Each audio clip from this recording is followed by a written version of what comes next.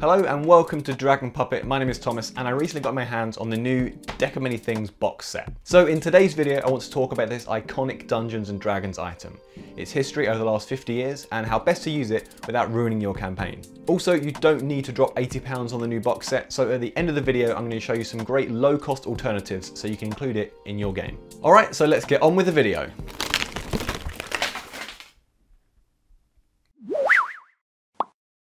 Let's start with a quick history. The Deck of Many Things is a powerful magical deck of cards, which will bestow either penalties or bonuses on the user depending on which card is drawn. The deck has been part of the game since almost the very beginning, making its first appearance in the 1975 Greyhawk supplement, which was the second D&D release ever published. Here the deck was made up of 18 cards from a standard deck of playing cards. The cards didn't have individual names and the effects were pretty straightforward.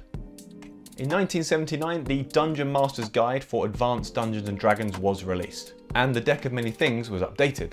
A full Deck of Many Things was now 22 cards, and they more closely resembled the Major Arcana from a standard tarot deck. Although the book does mention that about 75% of the time a deck is only made up of 13 cards. Issue 77 of Dragon magazine introduced the Tarot deck of many things in 1983, a one-of-a-kind item which was used to divine fortunes like a typical tarot deck. The article also gave effects depending on if the card was drawn upright or reversed. A few years later, in 1989, the deck of many things reappeared in Dragon 148. This appearance is a bit fluffier and provides some narrative background, giving a possible in-universe explanation for how the deck came into existence. This issue also came with the first physical copy of the Deck of Many Things, which could be cut out and used in-game. A few months later, an adventure was published in Dungeon Magazine issue 19, featuring a dungeon based around the deck. Each of the 22 rooms had a card built into the door, which had to be drawn in order to enter the room. When 3rd edition was released in the year 2000, the deck of many things returned in the Dungeon Master's Guide, basically unchanged but just with a few minor tweaks. Strangely, the deck of many things was absent from the 4th edition Dungeon Master's Guide. This may have something to do with the fact that 4th edition was supposed to be more balanced and approachable to new players. A concept which doesn't gel too well with the high stakes consequences and chaotic nature of the deck of many things. But it wasn't absent for long, as two years later an updated version of the deck appeared in Dungeon Magazine 177, including new rules and new printable art for the deck.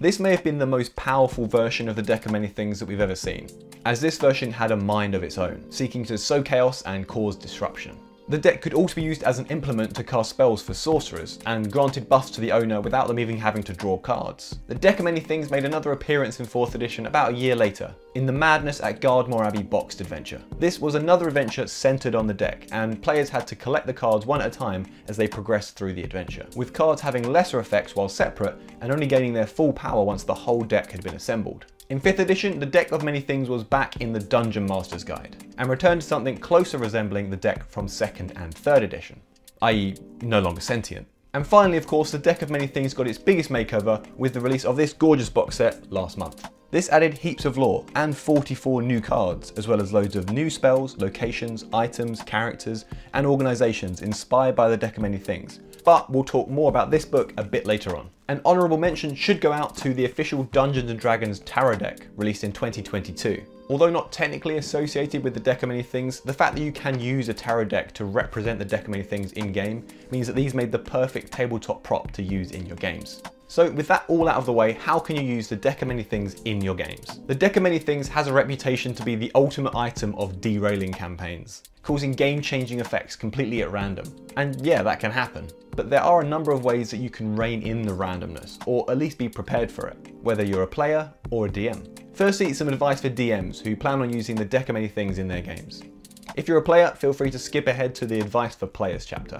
Okay, the first thing to say is that most of the effects, although dramatic, aren't actually game changing. And even the most dramatic effects from the deck are quite manageable if you're ready for it and if you're quick on your toes.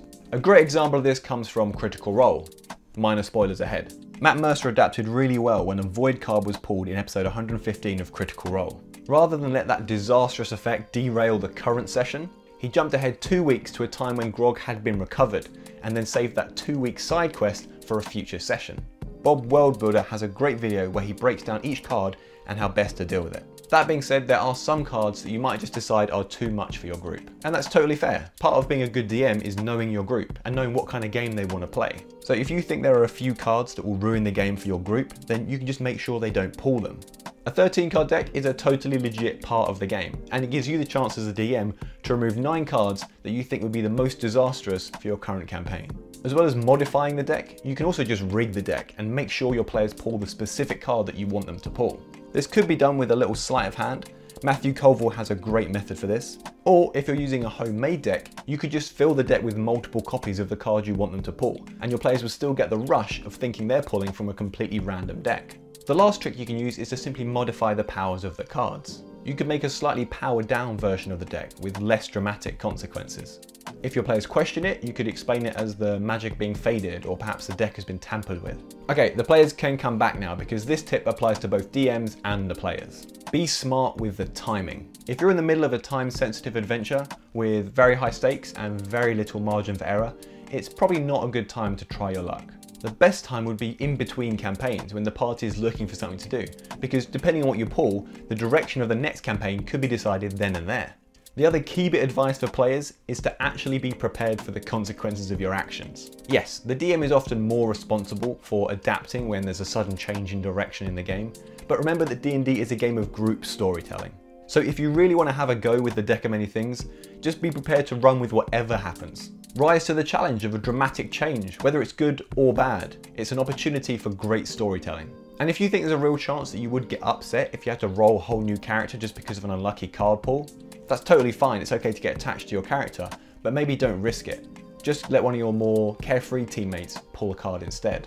Okay, before we get onto the low cost alternatives and ways to make your own deck at home, let's indulge ourselves for a minute and look at this amazing new Deck of Many Things box set. It comes with two books and 66 absolutely beautiful cards. The additional 44 cards serve a few purposes. Firstly, it lets us use this deck for divination, similar to a real tarot deck. The second purpose is the extra cards can be used to randomly generate adventure inspiration. And thirdly, the new cards let us use a new item called the Deck of Many More Things. This is an expanded deck where additional cards have been crafted by extremely powerful mages. The book does note that the original deck of many things cannot be added to, and that the deck of many more things is its own unique item. These new cards really are excellent. They have gilded edges and gold elements on the illustrations. The art is also wonderful, and each artist is credited on their own card.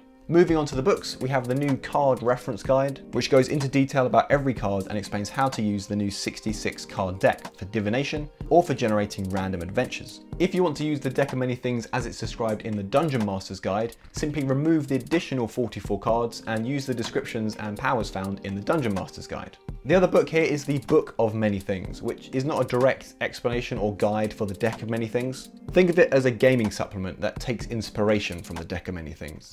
It includes extra spells, characters, places, dungeon crawls, organisations and feats, some directly linked and some more loosely inspired by the Deck of Many Things. This book is really good if you plan to use the Deck of Many Things in your game, as there are lots of fun ideas in here about how to tie it into the wider campaign. But even if you're not using a Deck of Many Things, there still might be stuff in here that you could use in your game. So that's the new box set. Annoyingly, right now, the books and the deck aren't available separately. So if you want to get your hands on just one of those things, unfortunately, you're gonna have to buy the whole box set. But I do think it's really worth it. If you are planning on buying this box set, then I've included an affiliate link in the description, so when you buy it, you can also support the channel.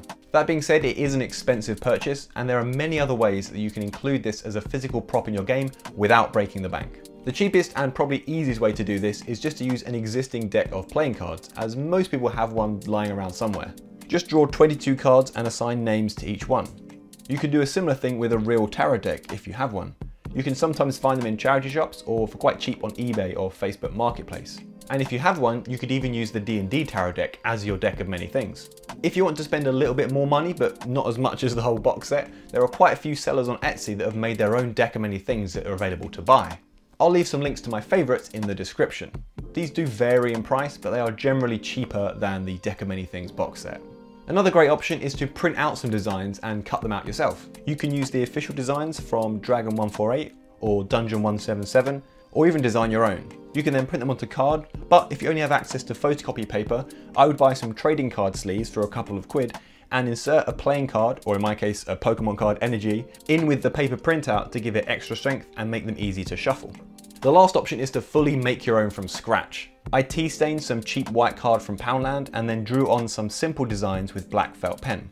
My art is obviously not on the same level as the official cards, but there is a certain charm to homemade props that your players will really appreciate. So there we have it. I think I've covered pretty much everything. As you can tell, I'm a big fan of this prop and I love using them in game. If you want your DM to consider using this item in your sessions, then why not send them this video? And who knows, in a few weeks time, maybe the deck of many things will pop up in your game. Thanks for watching. If you enjoyed it, be sure to subscribe. And if you're fancy picking up this box set or just fancy picking up some card sleeves, then check my affiliate links in the description to help support the channel.